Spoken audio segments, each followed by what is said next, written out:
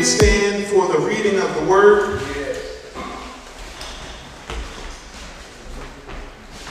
We will be coming from Romans chapter 1, verse 16 and 17. And um, we are continuing through our Romans series. So we're going to be in Romans for quite a while. So um, we're going to go verse by verse. We're going to get through this whole book if the Lord be willing. Yes.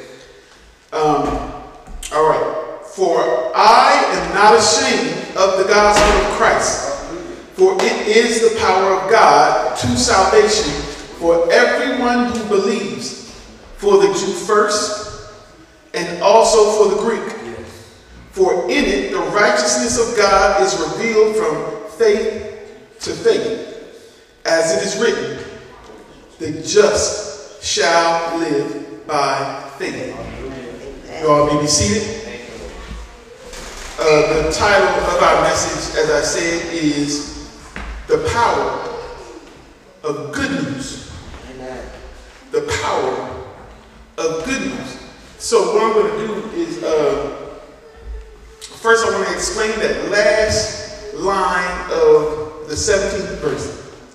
For it is written, as it is written, the just shall live by faith. And I want to explain that first because I want to get that out of the way. The just shall live by faith. What that means is none of us who believe in Jesus Christ are just. None of us who believe in Jesus Christ is righteous. No, not one.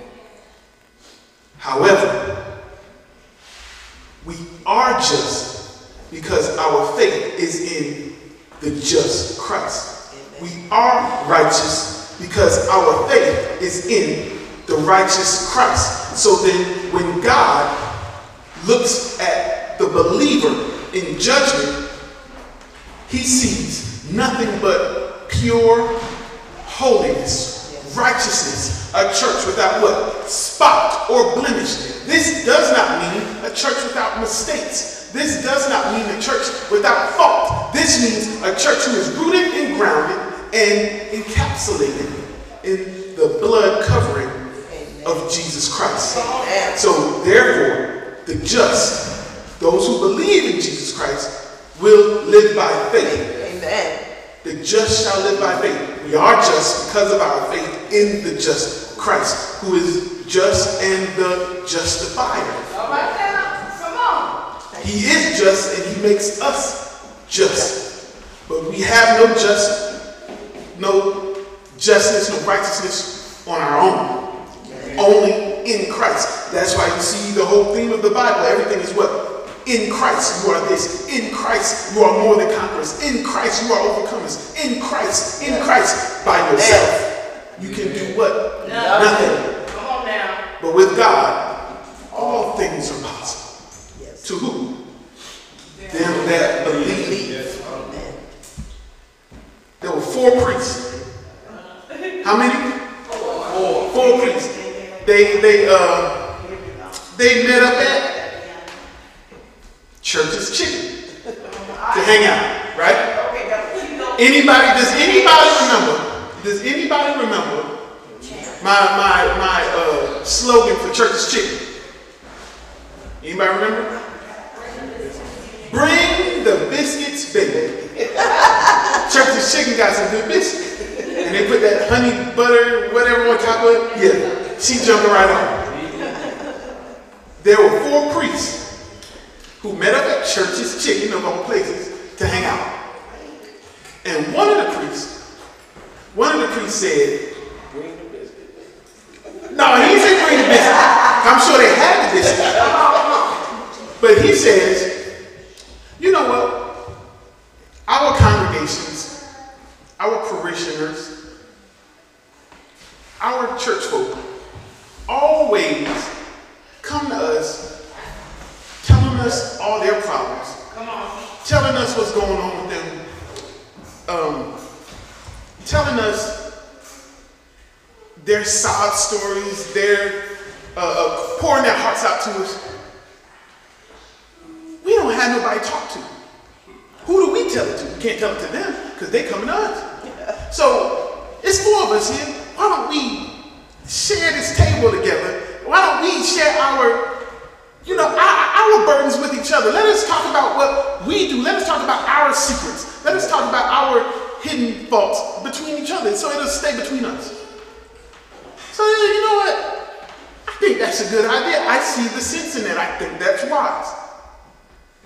So this first uh, priest said, okay, y'all go ahead. So priest number two says his hidden secret was he liked to drink. Okay, okay, that ain't too bad. So priest number three said, hey, I like to smoke.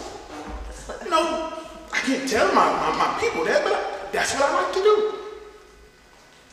Then priest number four hidden thing was he liked to gamble. That was his that was his sin. That was his thing. That was his vice, right? That's what he liked to do. And so that first priest who said, hey, let's let's tell all our secrets, they noticed that he didn't say anything. And they said, uh, KJ will wake up on this one. They say, um, well, you know, we noticed you ain't even told us your secret. He likes to drink. He likes to smoke. He gambles. What, what, what's your sin?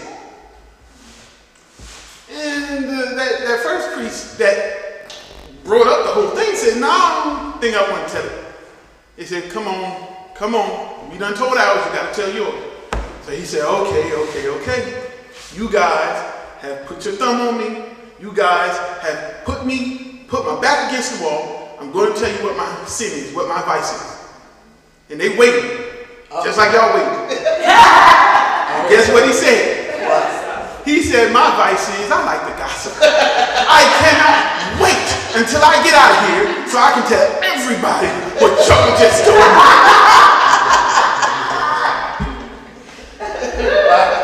Now, what if we were that way about the gospel of Jesus Christ? Come on. What if we couldn't wait to get out of here and tell the whole world what we just heard about Jesus? I can't wait to tell it. Come on.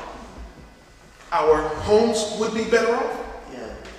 Our schools would be better off. Our workplaces would be better off. Our communities would be better off. Our state would be better off. Our country would be better off. Lo and behold, if every believer was as adamant to run and tell like the priest, the whole world would be better off. Yes. So, today, I want to uh, tell you uh, a few things about how powerful the good news is, the power of good news, and what makes the good news so powerful.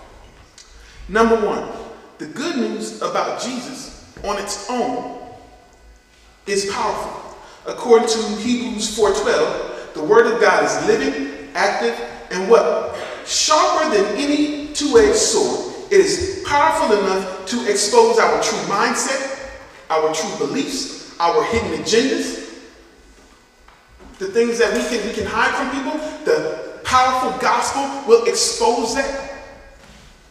Also, it is able to give us give us life. It is able to resuscitate us. It is able to give life to the walking dead. And it will expose every skeleton in your closet. Yeah. Listen to Mother Fret tell her testimony. It's in a book on Amazon for $10. All right now. That's right. But you listen to Mother Fret tell her testimony. You listen to uh, Alana tell her testimony. These babies, Sister T, tell their testimony week in and week out. Sister Doreen, uh, uh, Deacon Alvin, Mother Fret, um, Sister Clonetta. All of these testimonies we hear week in and week out. Did y'all ever think that y'all would see these babies testifying? Come Did y'all ever think that y'all would see them pouring their hearts out before God? Guess what? When you read Mother Fred's book, you will see that it took a powerful gospel to save her. When you hear Sister Davy testify just like she did today, it took what? A powerful gospel to save her. When you hear uh, Deacon Alvin testify, you understand that it took a powerful gospel to save him. When you see that man sitting right there in the back of that church, it's going to take a powerful gospel to save him. Yes.